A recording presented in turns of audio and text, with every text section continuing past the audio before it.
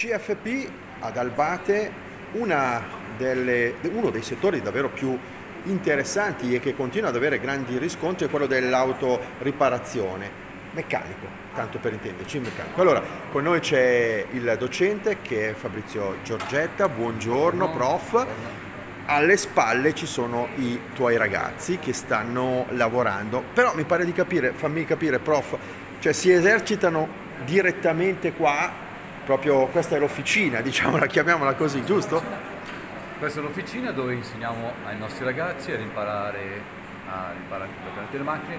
In questo caso ci sono motori a scoppio, quindi motori che montiamo normalmente su nostre macchine di varie tipologie, di vari numeri di cilindri, i ragazzi quindi imparano a smontare. Per loro è proprio una esercitazione praticissima, ma fin dal primo anno? Fin dal primo anno. Fin ah. dal primo anno fanno un giorno, un giorno e mezzo in officina a smontare e rimontare. La particolarità di questa officina è che quando un ragazzo comincia a smontare il motore gli viene dedicato un banco, quindi una postazione completa, okay. un carrello beta completo, affinché il ragazzo possa smontare e rimontare completamente il suo motore. Se il ragazzo ha bisogno di più tempo degli altri può rimanere quanto vuole, se è più veloce gli si dà un motore diverso da questo Poi questo è invece il lavoro in gruppo, stanno facendo un lavoro in gruppo loro adesso? Questo è un lavoro in gruppo che stiamo facendo, che stiamo smontando delle batterie a alta tensione delle auto ibride, perché ormai anche le auto ibride ah, sono entrate fortemente certo, certo. Ah, quindi queste quindi, sono batterie di auto ibride? Queste qua che stanno usando ragazzi con tutti strumenti necessari quindi per poter smontare questa è una batteria alta voltaggio di auto ibrida la stiamo smontando sezionando per poi andare a misurare componente per componente, ripulirla, revisionarla e rimontarla. Stessa cosa Questa cosa che i ragazzi stanno smontando perché abbiamo a disposizione due batterie, quindi a poter smontare e rimontare. In questo caso il nostro alunno sta togliendo i guanti di protezione per passarli all'altro alunno, il quale li proverà e li utilizzerà.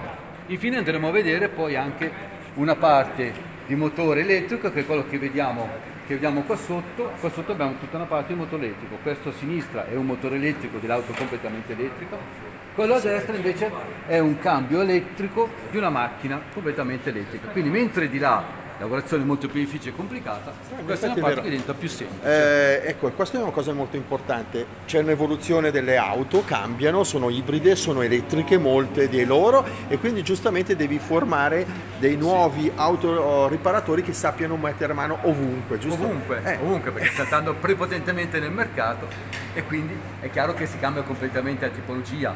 Però mi, dicevano, mi, dicevano, che è un settore questo che, che tira fuori. Ambitissimo. È, è un settore particolarmente ambito, un settore in cui noi prepariamo i ragazzi con tutto, veramente con, con tanta con tanto impegno, i ragazzi hanno una gran volontà di rimanere qua, basta vedere questi ragazzi alle nostre spalle.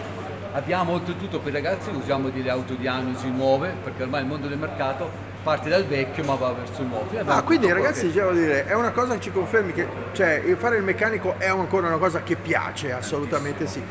Quanti anni occorrono per eh, andare in officina? Allora, per andare in officina, per essere creato come diciamo, operaio, esatto, bravo. tre anni per fare l'operaio, quello che fa tutti i lavori officinali, la sostituzione, frizione, guarnizione, freni che sia un quarto anno è quello di tecnico in cui facciamo fare questi corsi addirittura loro escono fuori corso per poter fare manutenzione che è obbligatoria su un'auto ibrida ed elettrica e usare tutti gli strumenti di autodiagnosi che abbiamo e utilizziamo queste. Ah, ecco, magari possiamo vecchie. vederle? O magari se facciamo... Okay. Ah, non ce l'hai qua?